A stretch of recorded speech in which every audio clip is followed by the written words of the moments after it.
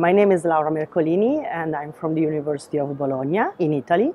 I am assistant professor in medicinal chemistry and I coordinate a research group uh, involved in bioanalysis. In particular, it is called PTA Lab, Pharmacotoxicological Analysis Laboratory. My interest in bioanalysis started during my uh, master degree program uh, in uh, medicinal chemistry and technology. And so basically it started uh, since the beginning of my studies. And I realized to love uh, bioanalysis uh, since long time. And uh, after the master degree, I continue working in bioanalysis during my PhD program. That was a PhD program in pharmaceutical sciences. Uh, my research uh, focuses on uh, bioanalysis, of course, and in particular, at the PTA lab, we develop um, methods, original methods, and then we validate them. Uh, it deals with uh, bioanalytical methods, of course, instrumental ones uh, based on HPLC, mass spectrometry, capillary electrophoresis.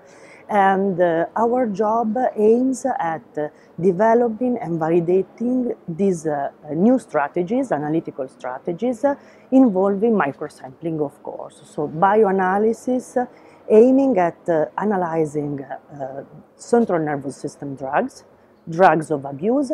And in recent years, we are uh, trying to do some research also in the, in the field of anti-doping analysis.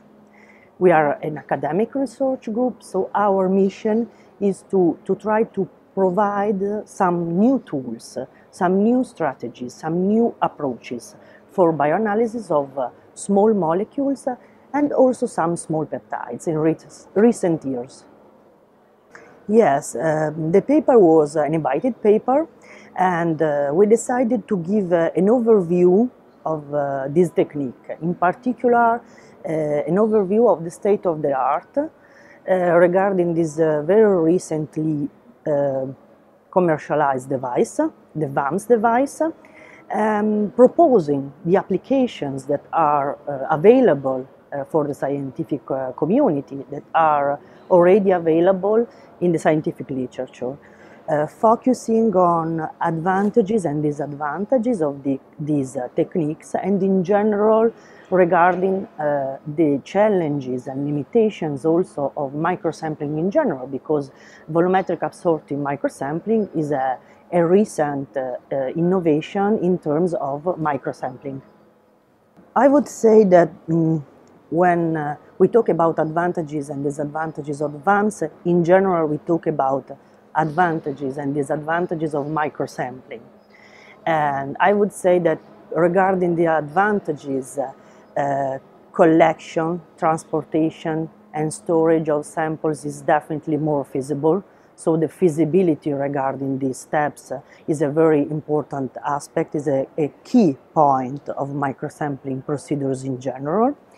And uh, there is also uh, an interesting discussion regarding stability in the scientific community because it seems that these uh, dried spots, and I'm talking about DMS and also VAMS spots, uh, uh, are able to allow a very good stability of these samples and of the compounds uh, present in these samples. So feasibility regarding collection, transportation, storage, and also very interesting uh, results uh, regarding stability.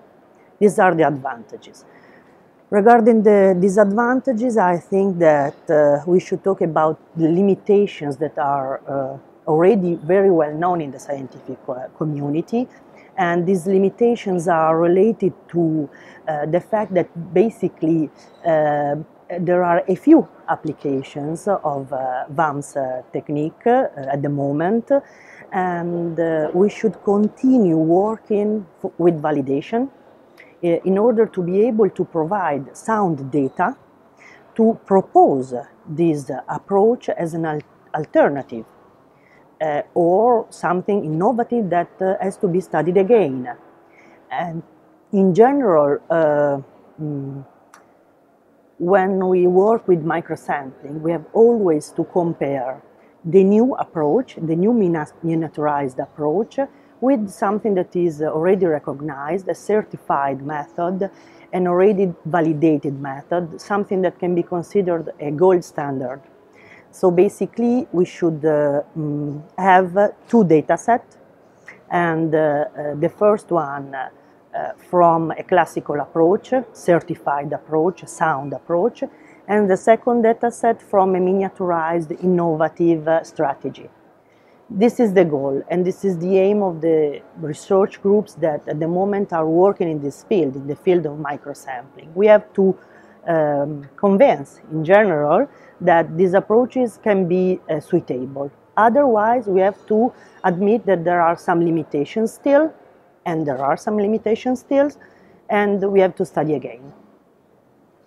Uh, the challenges uh, could be related to method validation. And so basically we have to uh, handle uh, regulations. We have to face uh, with regulations requirements uh, and it is important to be able to um, have sound data regarding precision, accuracy and so on, all the parameters that are included in international guidelines related to uh, method development. So in general, I think that uh, the main challenge is, uh, the main challenge is to provide sound data in terms of method validation. And moreover, there's the point of automation. Automation is uh, something that can be considered a key point in terms of, uh, of uh, challenges relating, talking about microsampling. And so automation should be uh, at the first place for microsampling, for volumetric absorptive microsampling, but in general for miniaturized techniques. And inside a research group, uh, inside uh, an academic group, but in general for everybody in the scientific community uh, working with bioanalysis.